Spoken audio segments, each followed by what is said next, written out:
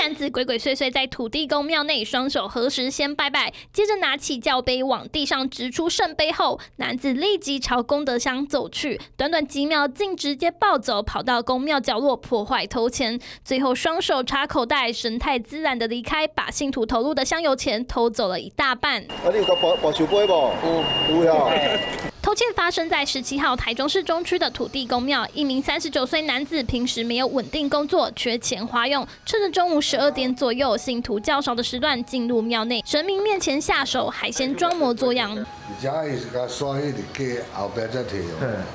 伊要摕对，是啊。还有这伊就看监视器的啊。